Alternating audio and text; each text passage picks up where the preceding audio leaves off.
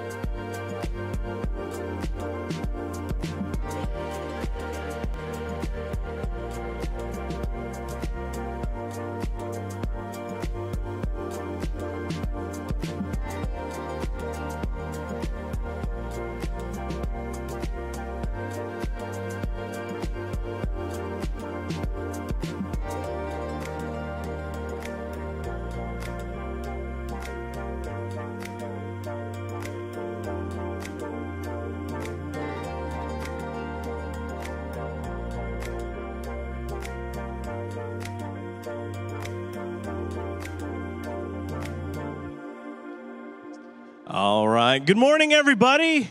Good morning. How are y'all today? Good. So glad to see all of you today.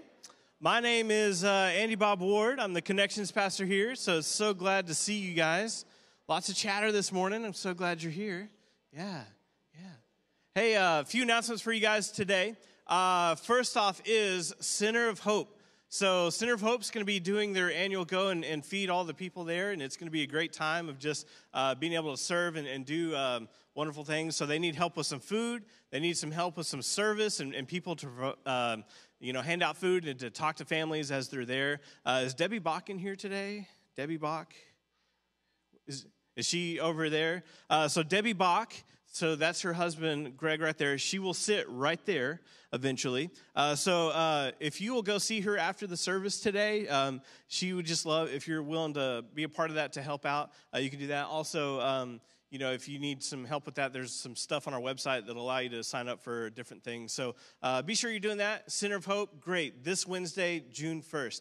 Also, uh, we have Adventure Week. So I'm wearing this Nifty Nido Adventure Week shirt. Uh, I'm going to be helping out, doing some different things for Adventure Week. So if you're an adult and if you'd love to help out with Adventure Week in any shape or form, it could just be, hey, I have an hour in between conference calls uh, Tuesday morning, and I can just be there, just kind of help greet people, get people going where they need to go. Uh, we'd love to have you. If you just, man, want to just be the best servant for the Lord and just help with all the four year olds, um, we would love for you to be a part of that as well.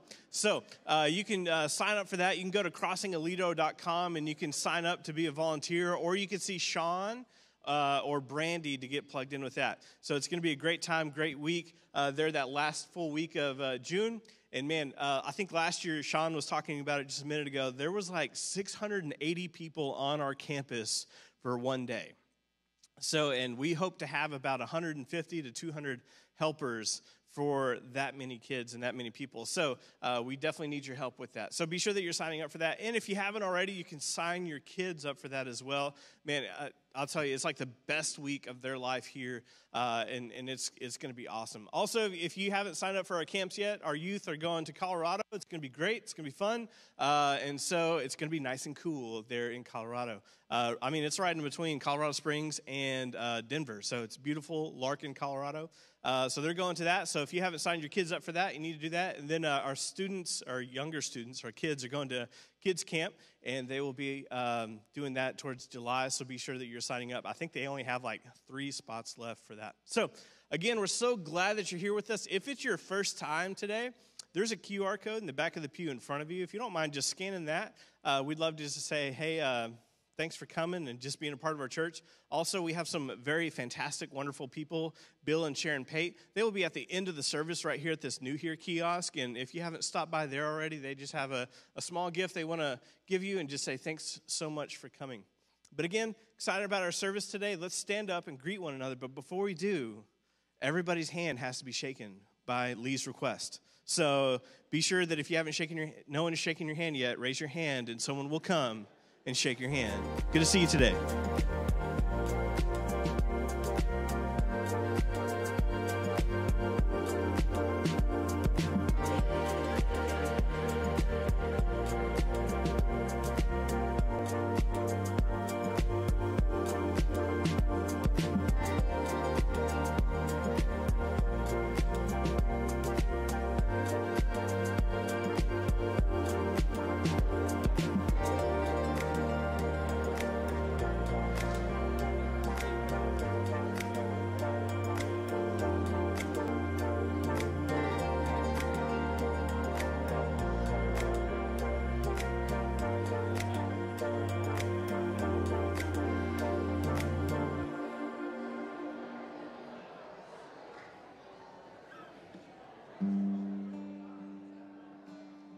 Good morning. It's good to see you all. We're going to sing praises to our Lord this morning. Let's sing this out. Oh, soul, are you weary and troubled? No light in the darkness you see. There's light for a look at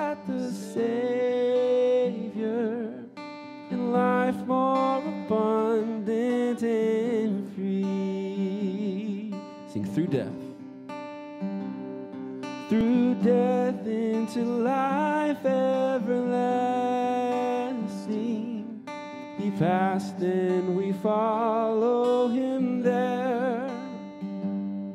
Over us sin no more hath dominion. For more than conquerors we are. Come on, you know it. Sing it out. Turn your eyes. Turn your eyes upon Jesus. Look full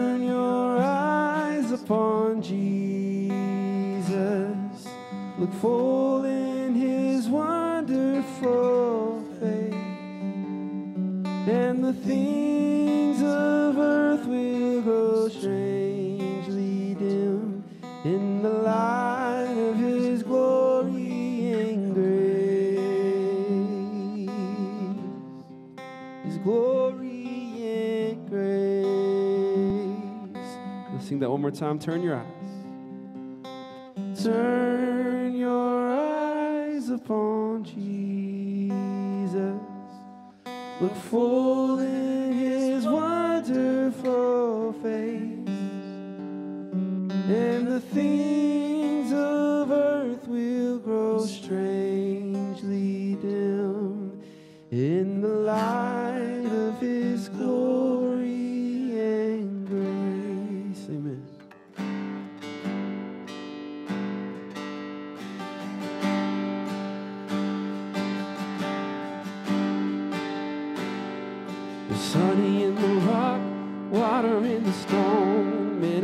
The ground, no matter where I go.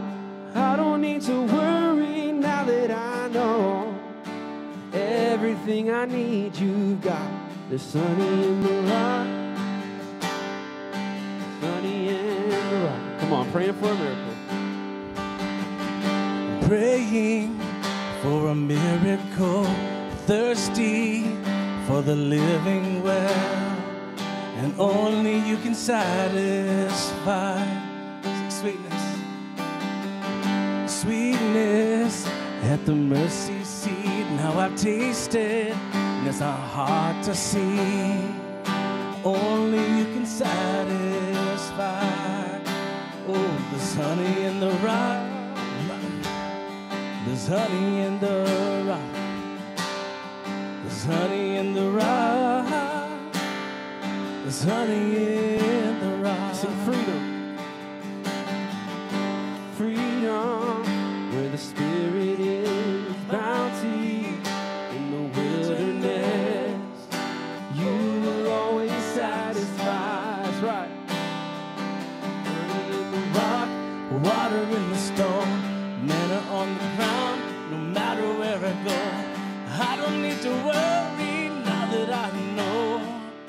everything I need. You got there's honey in the rock, purpose in your plan, power in the blood, healing in your hands.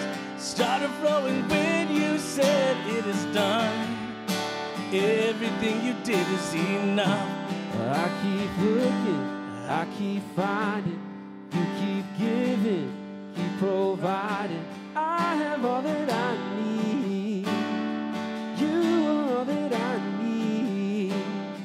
I keep praying, you keep moving. I keep praising, you keep proving. I have all that I need. You are all that I need. I keep looking, I keep finding.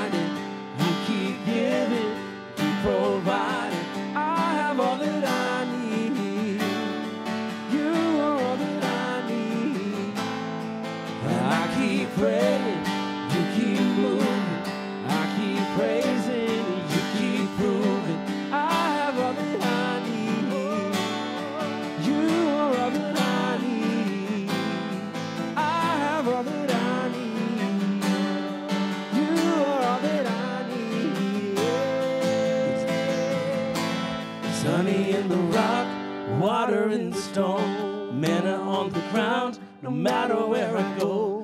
I don't need to worry now that I know everything I need you got. There's honey in the rock, purpose in his plan, power in the blood, and healing in your hand. Started flowing when you said it is done. And Jesus, who you are, is enough. There's honey in the rock. There's honey in the rock.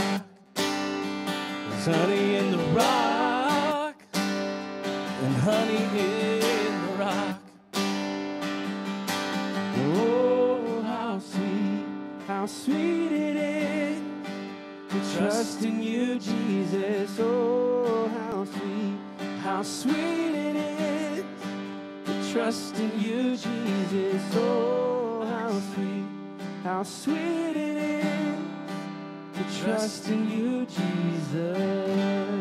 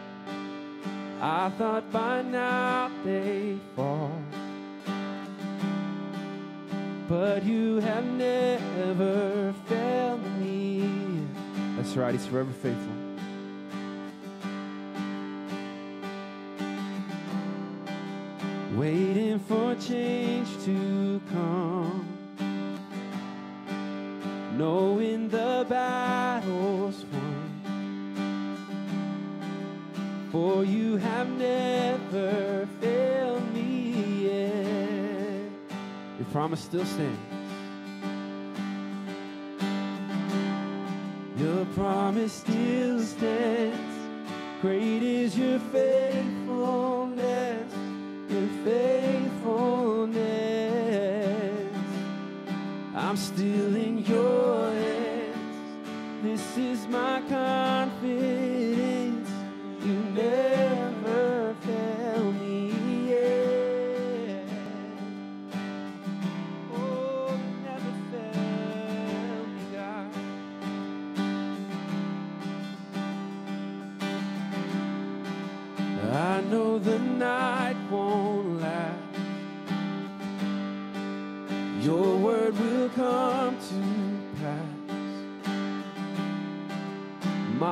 Will sing your praise again.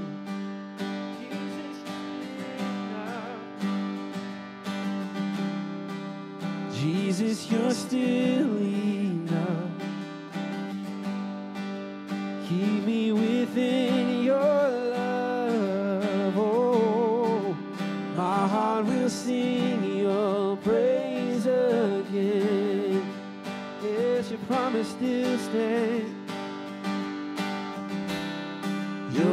promise still stands. Great is your faithfulness, your faithfulness. I'm still in your hands. This is my confidence.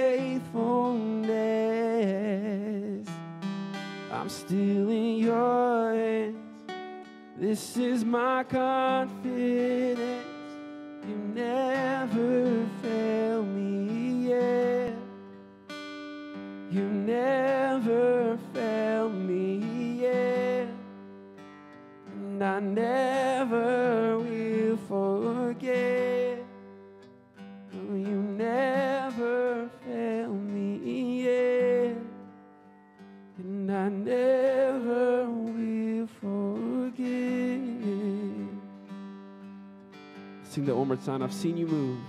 No matter what you're walking through this morning, our God is faithful, amen. And when we feel like we're in a dark place and we don't know what to do, we can always look back and say, God, you were faithful before, you're faithful now, you'll be faithful forever. So no matter what you're walking through, sing this with confidence. I've seen you move. Come on, every voice. I've seen you move. You move the mountains, and I believe I'll see you do it again. You made a way when there was no way, and I believe I'll see you. One more time. I've seen you move. I move the mountains, and I believe I'll see you do it again. You made a way when there was no way, and I believe I'll see you do it again.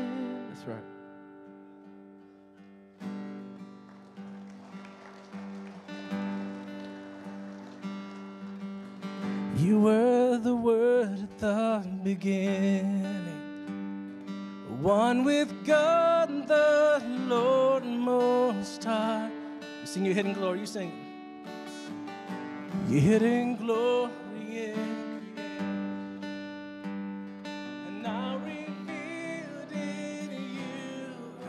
Keep on going, church. What a beautiful name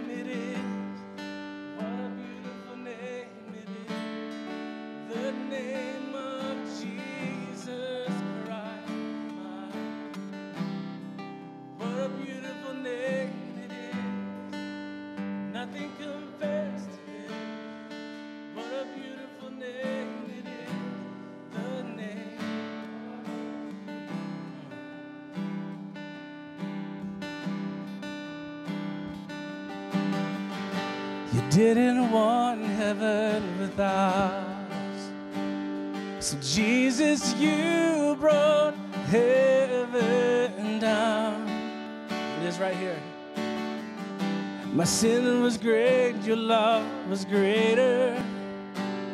So, what could separate us And now? What a wonderful name it is. What a wonderful the name Oh, and what a wonderful name it is. Nothing compares to this. What a wonderful name it is. The name of Jesus. What a wonderful name it is. The name of Jesus.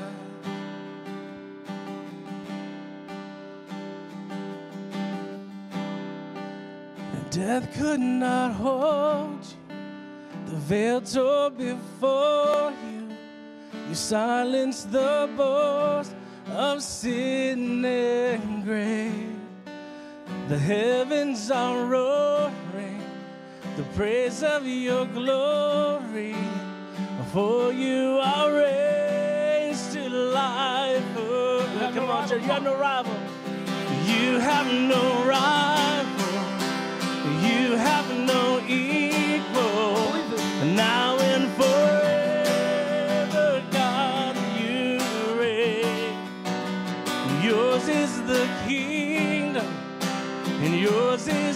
glory. Yours is the name above all names. What a powerful name it is. What a powerful name it is. The name of Jesus Christ, my King. What a powerful name it is. And nothing can stand against. What a powerful name it is. The name of Jesus. You have no rival. You have no rival. You have no equal. No. That's right. Oh. Yours is the kingdom. Yours is the glory.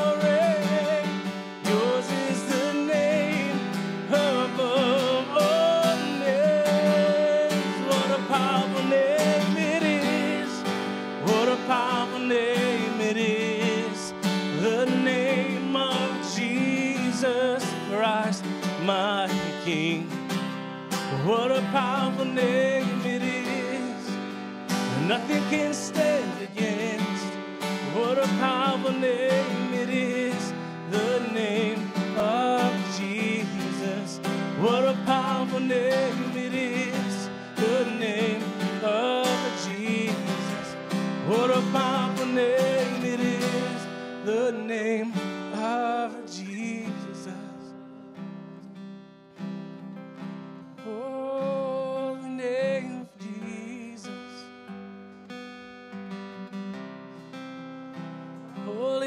name.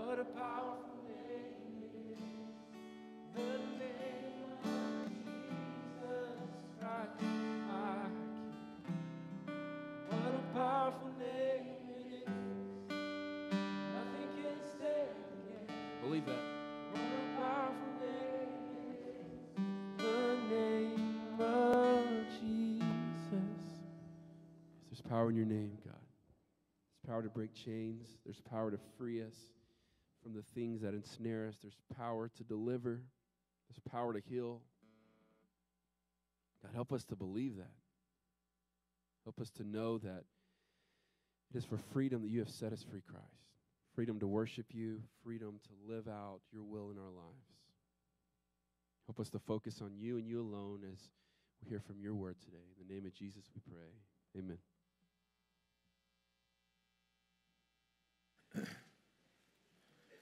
Good morning, everyone, on this memorial today. First thing I want to do today is we've got a, a group going to Uganda leaving Thursday.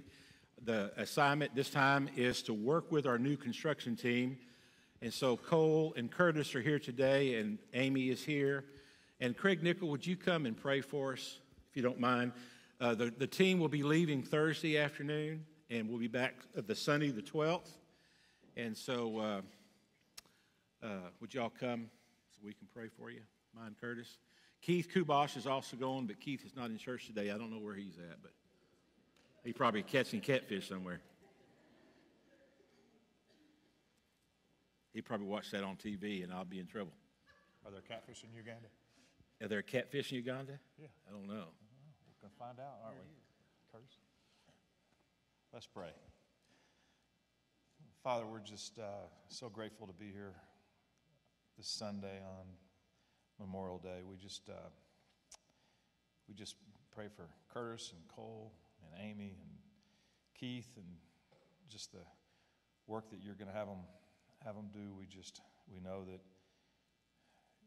you are going to bless a lot of people through this. We just pray for traveling mercies, and we pray for safety, and we pray for all of those things. But most of all, we pray for your kingdom work and just the awesome privilege and responsibility and, and gift it is that, that you let us participate in it. And we just thank you that as a church we get to participate in this work. We thank you just so much for the, the people there. We, we're praying for the people in Uganda that are going to be blessed by this. We, we just. Um, we just come to you this morning with thankful and grateful hearts and just we ask you to forgive us of our sins.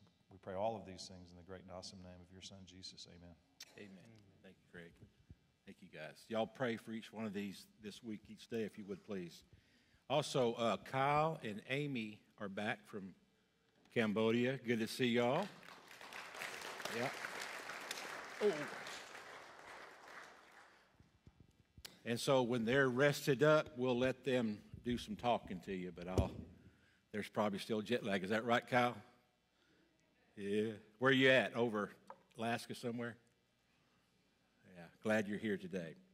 Uh, also, another, uh, Israel has ended all their COVID restrictions. And so if you are, uh, that means, doesn't matter if you've had a shot, doesn't matter if you had any boosters or you hadn't had any. There is no test you got to have to get in there and no quarantine, no anything. So our trip is really on now. We've got about six couples signed up. So if you would like to go to Israel, uh, the day after Thanksgiving, we'll leave.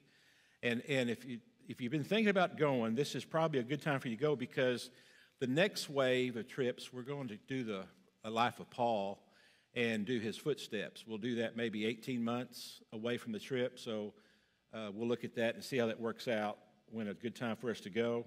And we'll mainly go to Greece and Turkey and walk where Paul walked and see all the things he did. So, uh, but the best discipleship book there is is to go to the Holy Land.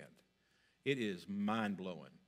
We can take you to a few places that we know for sure Jesus stood here. Just now, we can get close in many, nearly everywhere is around here somewhere but there's several places where there's no question. It's the place. And so keep that in mind. If you're interested, please let us know. Okay? Also, uh, this is Memorial Weekend. Tomorrow be Memorial Day. And, Memorial Day is very difficult for my son, as you know, you easily understand that. And each Memorial Weekend, I, I didn't really intend it to be this way, but I've given you uh, a little brief uh, story of uh, one of the Marines that was with my son that lost her life. They lost a lot. He had two tours to Iraq. Uh, they did the battle in Fallujah, and then uh, had lost lots of great kids. Just it was horrendous. And then uh, went back the second time, and their assignment the second time was uh, Iraq was going to have their uh, vote, and it was a real. Our government was really pushing that they would be able to vote without any, uh, you know, without any uh, fear, and they could get to the polls. And you, you, probably remember there were many pictures of people with that purple ink or blue ink, whatever it was, on their finger after they voted. I guess they stuck their hand in a. We have a little sticker. They have they stuck their hand in a deal of ink that showed they had voted. And so uh, my sons, uh, 2nd Battalion, 1st Marines, were sent up to the Syrian border because there was lots of bad guys coming across uh, the Syrian border there, and they were they were keeping they were harassing the people and going to keep them from voting. That was one of the at that time uh, that was the the challenge that was going on is they didn't want Iraq to vote, and so they were going to work at that and keep all the people going to work. So they had to go out there and and root out the bad guys. Uh, Major Mendoza was the commanding officer of Echo Battalion.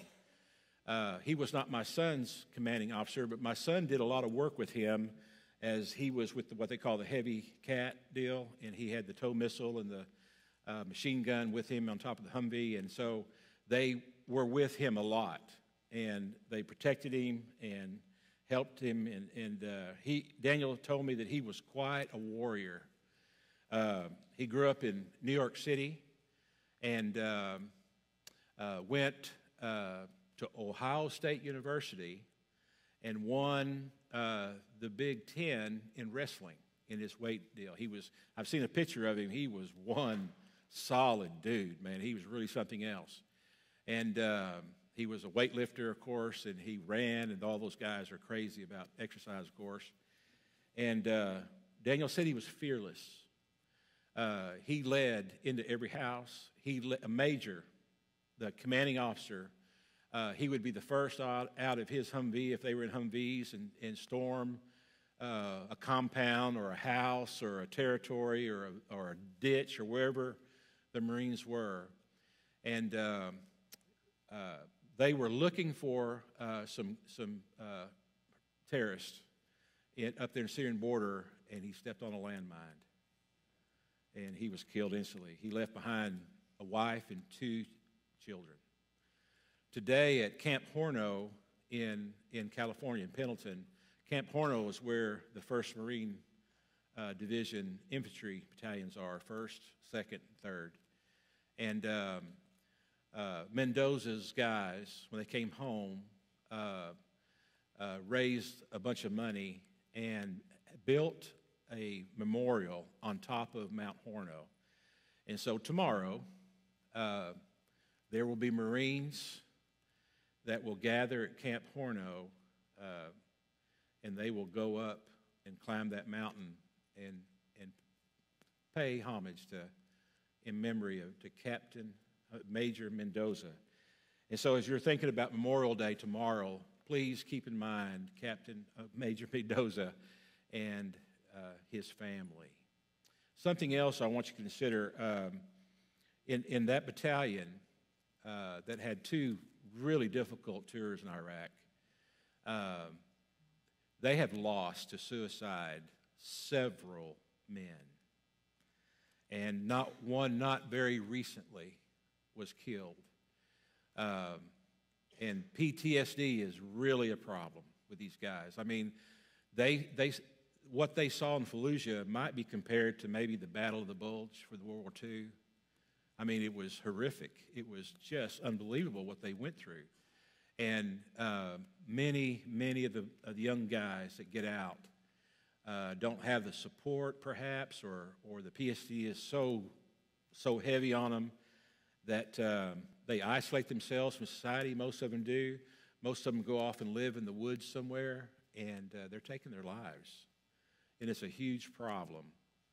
And so, if you would pray for uh, our Marine soldiers, airmen that are experiencing great pain. And Memorial Day is not all hot dogs and beer for them. It, it just comes on them, the memories flood, and it's very, very difficult. So uh, I want to bring personal to you because most of us don't have personal, uh, you know, attachments. And I just wanted to but I, I do know the Marines and the airmen in here and the soldiers that have served, they know. And Memorial Day is a time to consider and remember. And so please, please remember Major Mendoza, his wife and his kids. So the next scripture, the next scripture we have in Matthew chapter 7 begins in verse 15. And. Uh, Boy, it's really important that your pastor not be a false prophet. It's really important.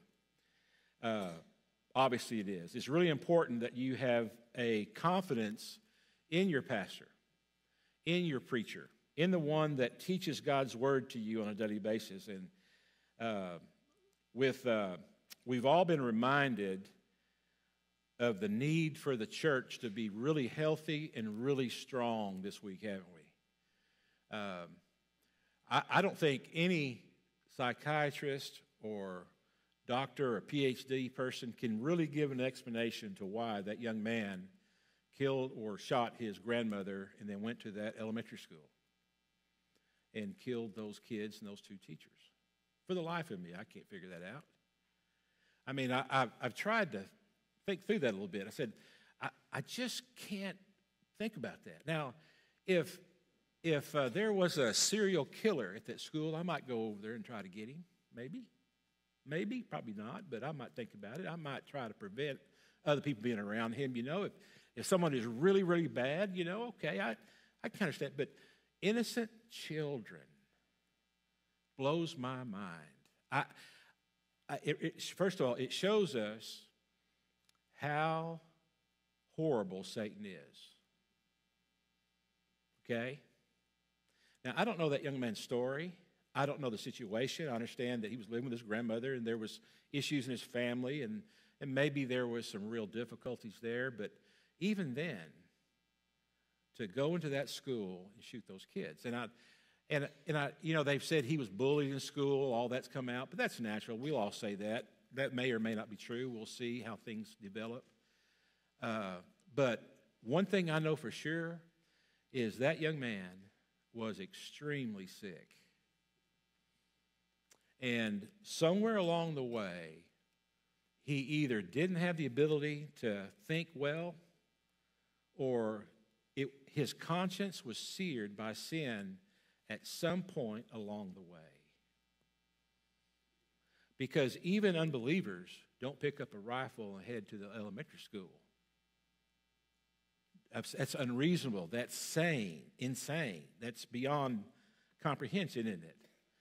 And so I was, I was just thinking, just like Jesus said when the tower fell, the tower Siloam fell on the people, and when the people were at the at the temple and they were killed by the soldiers, he said, "Was it their sin, or you know, that caused this?" And he said, "Of course not." He said, "But when you hear things like that, it's a reminder of you to repent, a reminder of you to think through things well."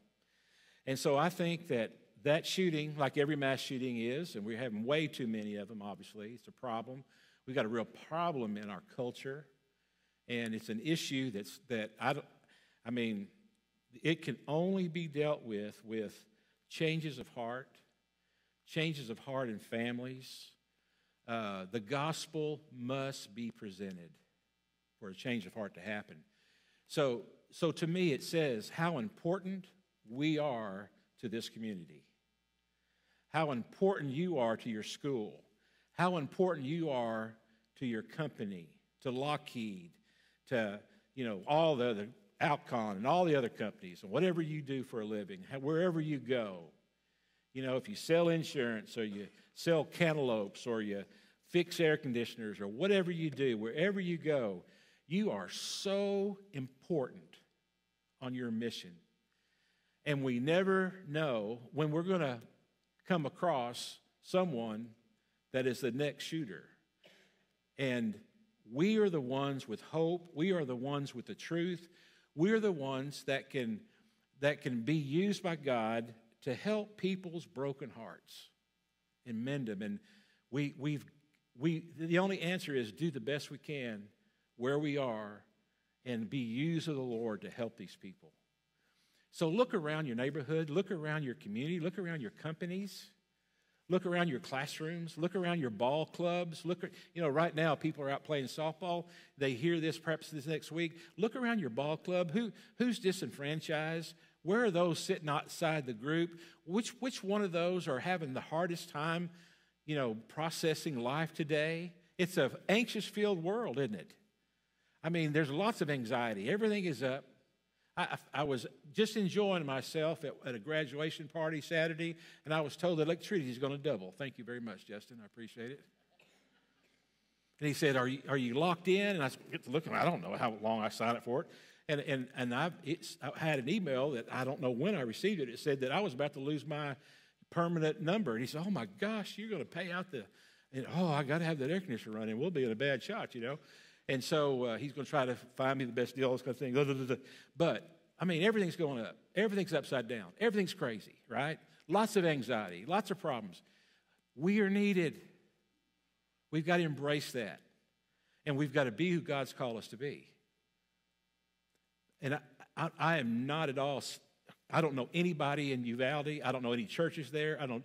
I, am you know. I, I believe with all my heart with how much God loves people is People tried with that kid. Someone tried. God sent someone to his door. Something along the way, somewhere, the, people reached out to this kid. If it, if it was this bad of a deal, right? All I know is what we're responsible to, and and we got to share the good news and the love of Jesus everywhere, all the time. we have a huge mission in this in this society we're living in, this culture we're living in. It's really depraved, and it's really hurting. So, you need to have a true teacher. Your pastor cannot be false. So let's get to the word today. All right. Matthew chapter 7, verses 15 through 20. Beware of false prophets who come to you in sheep's clothing, but inwardly are ravenous wolves. So obviously, appearance isn't the issue. Appearance is not in. Some of you folks in here today of a little age, you remember Ralph Wolf and Sam Sheepdog cartoons? One of my favorite cartoons. They, they should have cartoons like that on these days. But they were always battling every day the wolf against Sam the sheepdog. And they battle and battle and battle. And in several of those cartoons, Ralph Wolf takes a sheep and puts it on its back and walks up there. And of course, Sam the sheepdog is always raising it back and socking Ralph Wolf in the face, you know, and then grabbing the sheep. And then the cool thing that I loved about this, these, these uh, cartoons was at the end of the day, they would put the, the Ralph Wolf and Sam Sheepdog would put their arm around each other and walk, clock out and walk out and say, Good day. And he says, Good day to be alive, Sam. Good day to be alive. I thought that was pretty cool.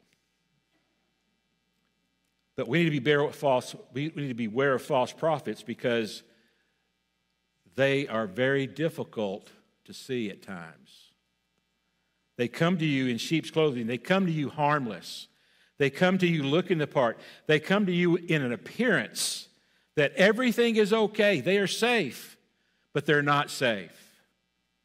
And, and the most effective false prophets are those that they're not great uh, chasms between truth and falsehood in their teaching in their character, in what they do. And, and so you got to carefully observe it. You got, to, you got to go by the Word of God. You've got to take and see that what doctrines are they teaching falsely and what's going on. But Jesus says, Beware of false prophets who come to you in sheep's clothing, but inwardly are ravenous wolves. You will recognize them by their fruits.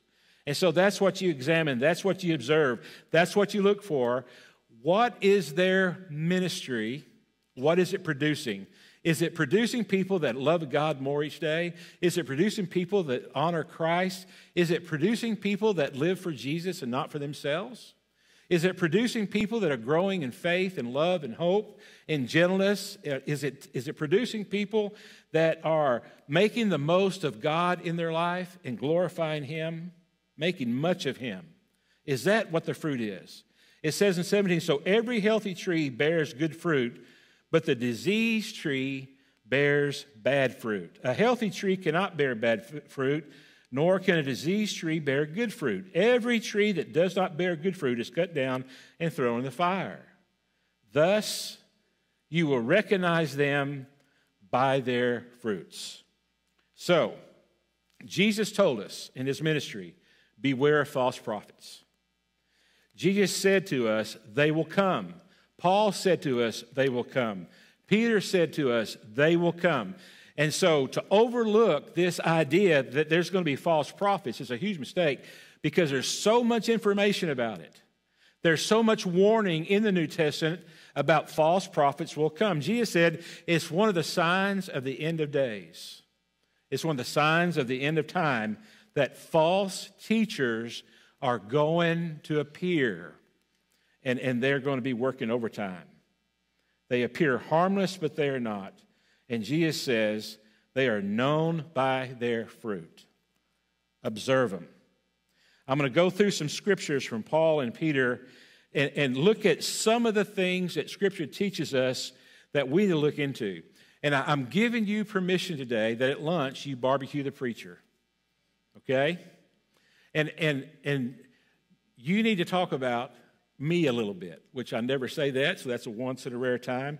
And, and you need to ask yourself some of these questions is he false or not? Because that's such an important thing to do. You got to have confidence and trust. You got to test what the man says and how he says it, what he believes, what he teaches, what he guides. is he, is he on spot with what the, what the Lord says based on those non negotiables? Is he true or false? All right, here's some things to look for from the scriptures.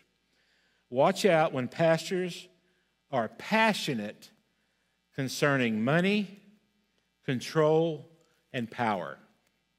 2 Corinthians 2, verses 14 and 17. But thanks be to God who in Christ always leads us in triumphal procession, and through us spreads the fragrance of the knowledge of Him everywhere. For we are the aroma of Christ to God among those who are being saved and among those who are perishing. To one, a fragrance from death to death, to the other, a fragrance from life to life. Who is sufficient for these things? And then Paul says, For we are not like so many. Paul says, We are not like this. And so that's important to Paul. Paul wants the readers, the church in Corinth, to understand that there is going to be false teachers, but he says, We are not like that. For we are not like so many. And he says, Peddlers of God's word. Peddlers of God's word. But as men of sincerity, as commissioned by God, in the sight of God, we speak in Christ. What you need to be looking for is is your pastor pastoring? Is he preaching to peddle God's word to make a financial profit from it, to receive back for himself more than, than, than what should be there? What is, his, what is he really passionate about? What is he really after? Is he after your money? not your heart, right? Money's a side product to, devoted to Christ. And is he sincere or is he insincere? That's what you got to look out for. Today, we evaluate pastors by how they dress, which I dress purposely like this today, if you notice all the way down. Just alarm some. I thought about it. I maybe put on my jeans again and my boots like I always do every Sunday because I'm most comfortable in that, but I went, nah, I'm going to cause a little stir today. Just go for it. Not beneath that. I did think about going get my funeral suit on and really cause a stir, but of course I always go the other way, which it's not what they wear, it's not how they appear, it's not their style. It's not that they're polished. It's not that they can really wow a crowd. It's not that they can just reach out there and grab people's attention and hold their attention for 25, 30 minutes or however long the message is. But it's their calling and their character. Are they sincere? Or put it this way does he really believe what he says? That's what you need to consider. And I mean, just as clear as day, does Lee really believe what he says? You need to answer that. You need to answer that. The preacher, the pastor, the prophet, he should not live in a $5 million house. He should not. I don't care how affluent the people are that he pastors, he should not live in a $5 million house. Now, I don't know what the number is. I don't know if that number is he shouldn't live in a $2 million house or a $3 million house. I don't know what that number is, but I know there's a number that the pastor should not live in because we're trying to be like Jesus. And, and there needs to be an understanding. It's okay for the pastor to have money. It's okay for him to live in a nice house. It's okay for him to drive a nice car. All that is okay. It's not okay that he live exorbitantly. And if the pastor lives exorbitantly, you need to watch out for that and be careful for that. I mean, if they've got to have three jets instead of one, ask yourself a question why? I would. If I was a member of church and the guy rode around, I said, dude, you make a lot of, what's wrong with first class? Have you seen first class? When you fly, fly first class. You know, well, I've got to be free to go. No, no, no, no. That's, that's not, they may not be a false teacher if they're flying around in a jet airplane, but there's room to consider there, isn't there? There's some things to think about why they're doing that. They don't need to drive a $300,000 Ferrari. They might get to go on a ride in one, I'd like to ride in some of y'all's vehicles. Just ride. And if you're really generous, let me drive it one day. Right? That'd be all right with me. I definitely don't think a preacher should wear a $5,000 suit. I mean, a $1,000 suit, I guess. I guess you're really fancy, a good dresser.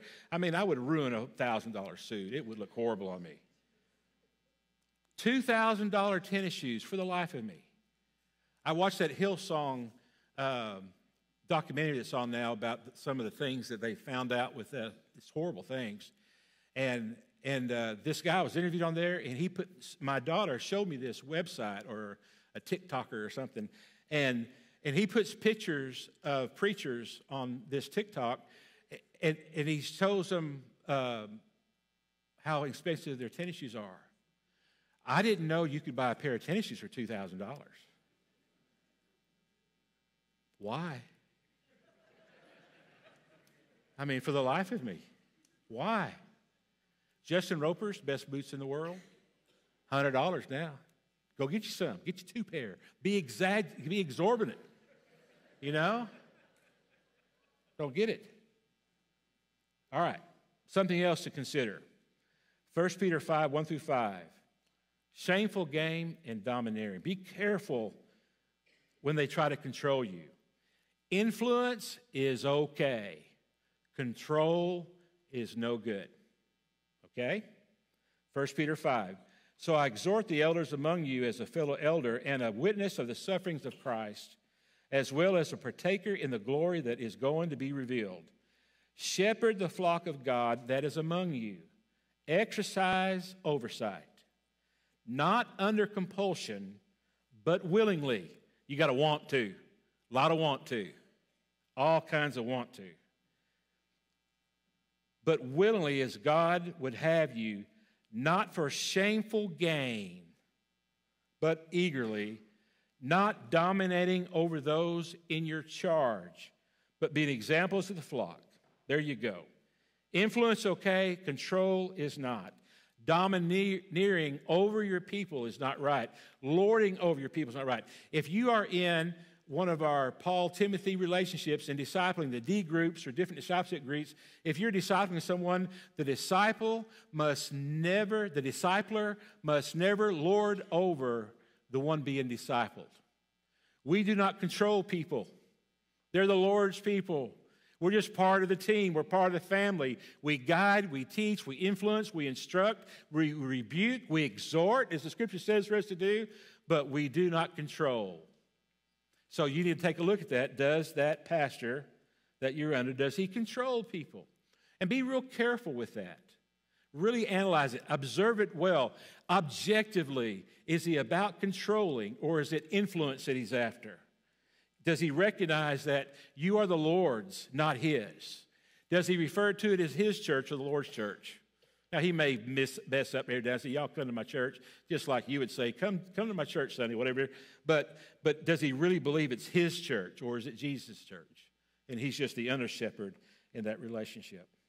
Yeah, when the pastor, the prophet, benefits from shameful gain or having control over people, there's reason to be very suspicious and, and, and very cautious in that situation. Another thing that we need to be, consider is when pastors are people pleasers and overtly concerned with their image and a, just a, an obsession almost to be well liked and popular. It's interesting in the church world today, man, we got lots of popular preachers, lots of popular pastors. I mean, you know, they, they do their podcast and they'll have thousands listen to them. You know, people drive a long way to go to certain churches because he's trendy, he's cool, he's hip, he speaks well, he's funny, he's good looking, he does all these things. He just has this great attraction, right? Man, you need to really be careful if that pastor is living for that. And if they're a people pleaser and, and, and they just are more concerned with being liked and popular than teaching God's word. For the life of me, this is a crazy business plan that we have, isn't it? Teach God's word, then raise up an offering. The craziest thing we ever do? We, it's like almost like going to a trainer.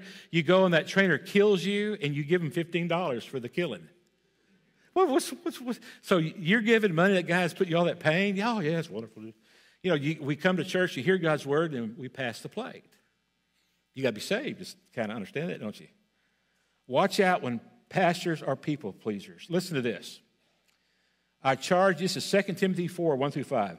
I charge you in the presence of God and of Christ Jesus, who is to judge the living and the dead, and by his appearing and his kingdom. This is what is told to Timothy Preach the word, be ready in season, out of season. The Bible, the Bible, the Bible is really important. Reprove, rebuke, and exhort with complete patience ooh, and teaching. You got to be ready with the word of God, he says to the preacher. Reprove, rebuke, and exhort. And then he says, For the time is coming when people will not endure sound teaching. Listen to this, but have itching ears, they will accumulate for themselves teachers to suit their own passions. Wow. There's coming a day when people will want to have their ears tickled and they will gather together teachers that suit their own desires. I love that pastor. Why do you love that pastor? Because the message he brings, it's the message that I understand the way I want God to be. Oh my.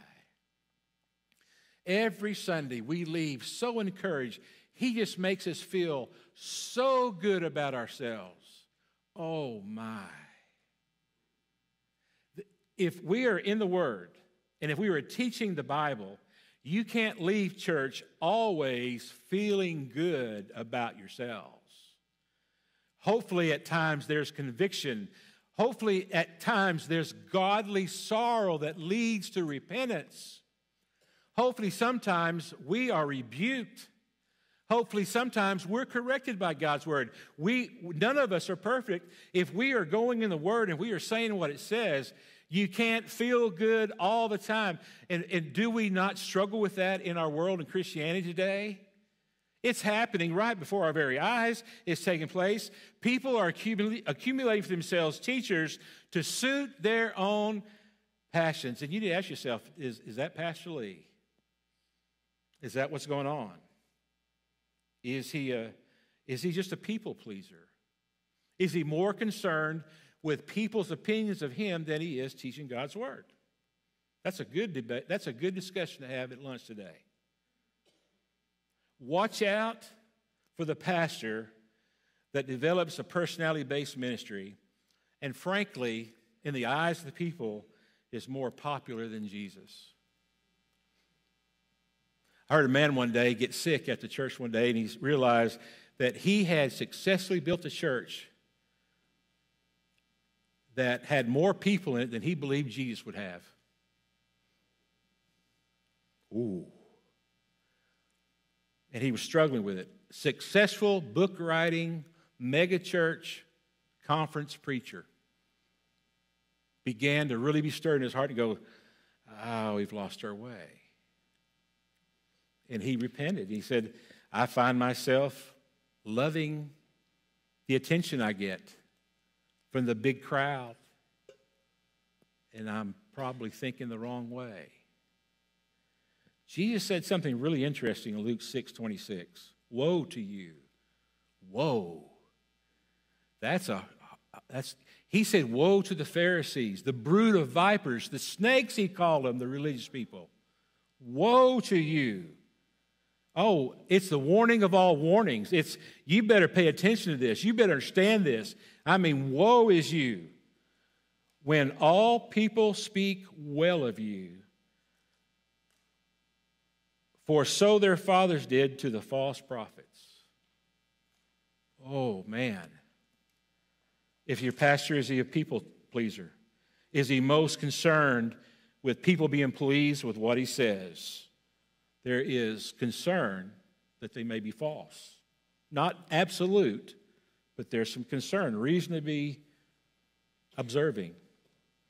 If, he, if, if the pastor builds a personality based ministry, In other words, when they, when they die or they move on or whatever they do, change churches, the church goes away. It was all based on them.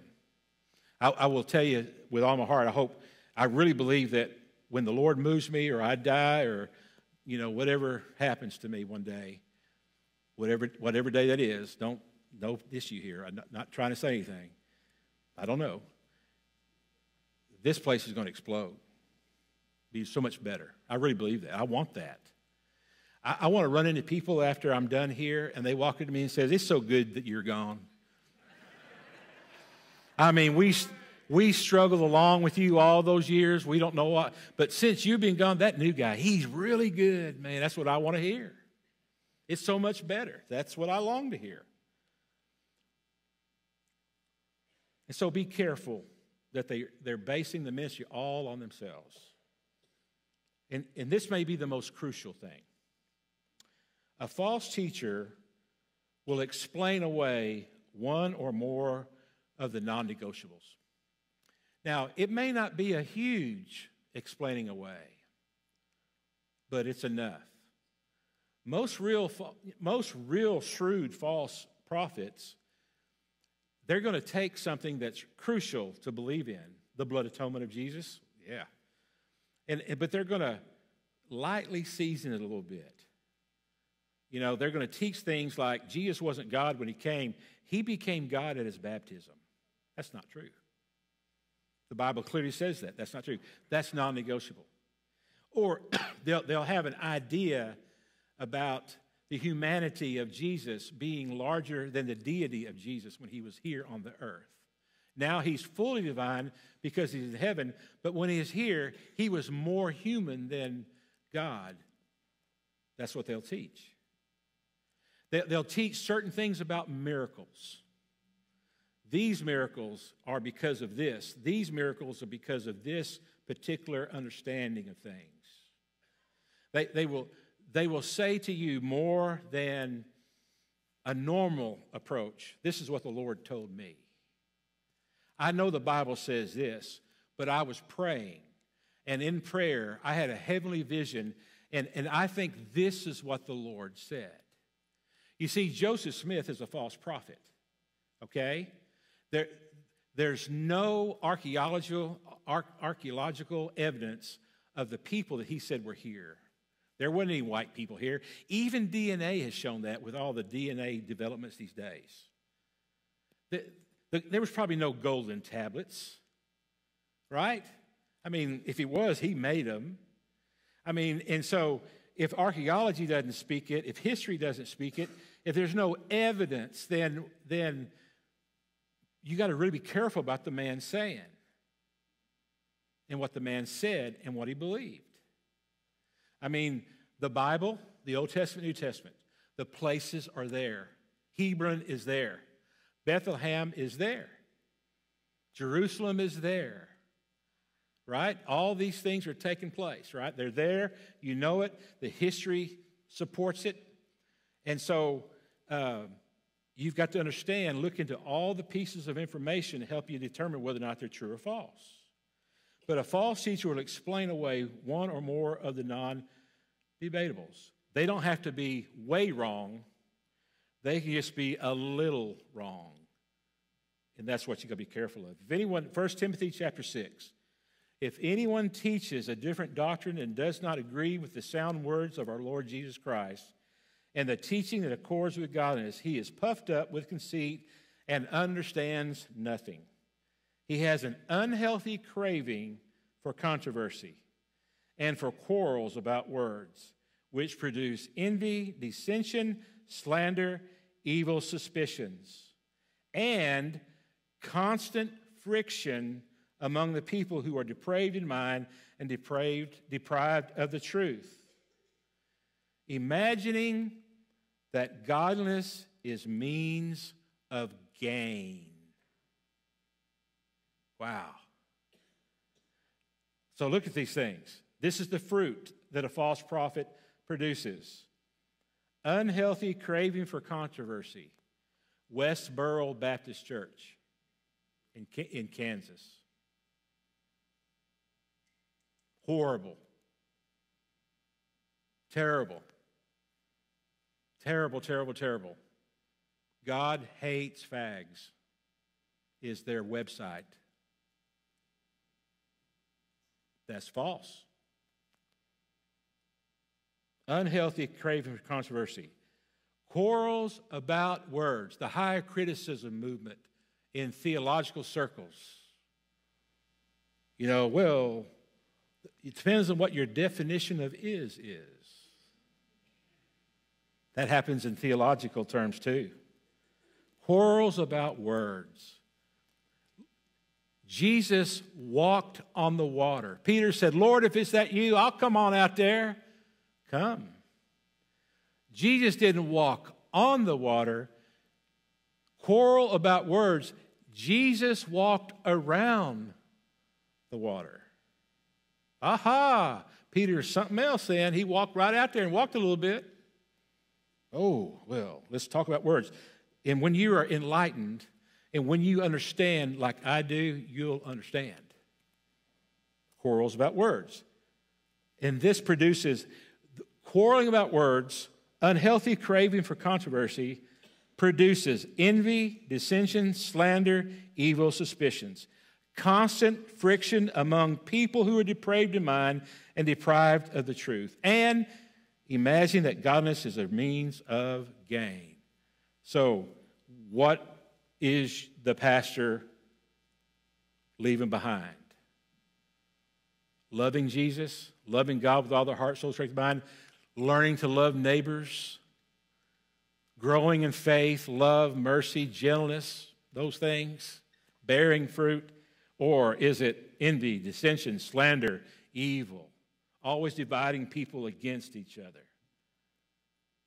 You got to check out what they say by Scripture.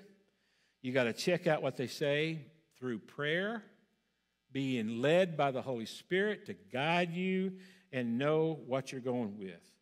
And let me remind you not appearance, not style, but character and content. We are today absolutely conditioned that it's appearance and style in every walk of life. But when it comes to observing and looking at the fruit, it is content and it is character. So, the main question you need to ask yourself today is God using Pastor Lee, Lee Brewer, to produce fruit? That's what you got to ask here when you think about other people that may or may not be false prophets. That's the real key. So, a few lessons in plain language. The true pastor, the sincere pastor, he will desire to please God far more than pleasing you. He will honor God's word more than books written about God. He would desire Jesus to be seen beyond him. He's going to be okay playing second fiddle. He will be okay with disagreement, but he will not be okay with being disagreeable. There's two different things there. He will love God with all his heart, and he'll love others as himself. He will live by testimony, the blood of Jesus, and not afraid to die. Not if, those are in Revelation 3, those are the weapons that defeat Satan. And a, a true prophet, a true man of the Lord, is going to live by those three things. And they will preach without applause. They will preach without applause. Have you ever had a pastor tell you that they'd preach for nothing? I'd preach for nothing. I'm going to tell you right now, I would preach for nothing. I may not put up with a lot of things during the week for nothing. I guarantee you, there's a lot of things I ain't to put up with during the week for, but I'll preach for nothing personally. If, if you got a pastor that won't preach for nothing one day, you need to think about that a little bit. Now, would he rather be paid? Yes. Would I rather be paid? Well, of course. Sure, obviously.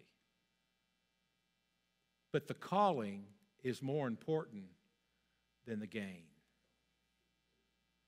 The calling is more important than the gain. Steven Curtis Chapman sang a song, For the Sake of the Call. They were so abandoned, no applause for the sake of the call. I think that's what Jesus is referring to for the things he needs to look at when he says, Beware of false prophets. And we live in a time that we need to beware of false prophets. Let's pray. Lord, may your will be done. May your spirit work in us today. Unusual message, Lord, perhaps. But Lord, we recognize what your word says. Help us to see what we need to see. May your spirit guide us, show us, teach us. May we repent if that's required today.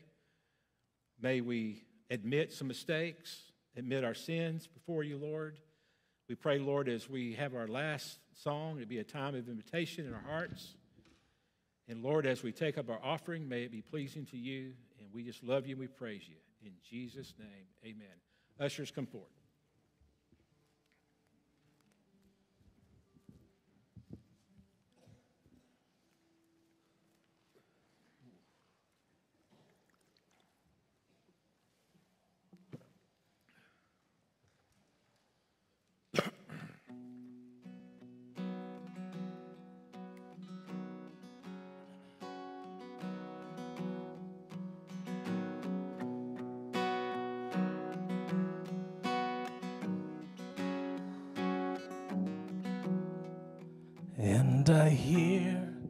The Savior say, Thy strength indeed is small.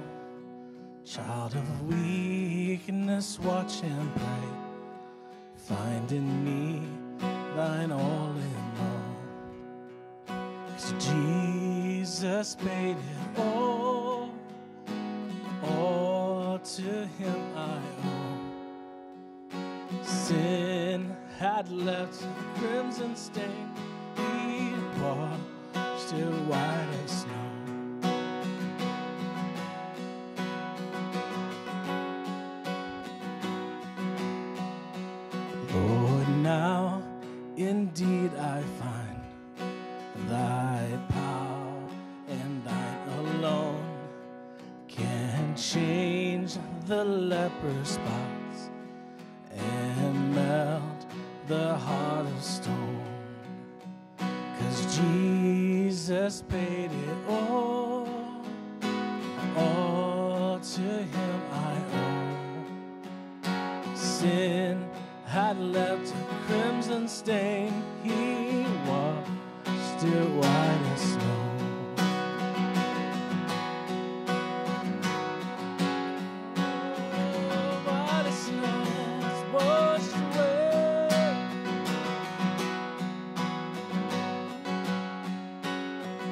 Before the throne,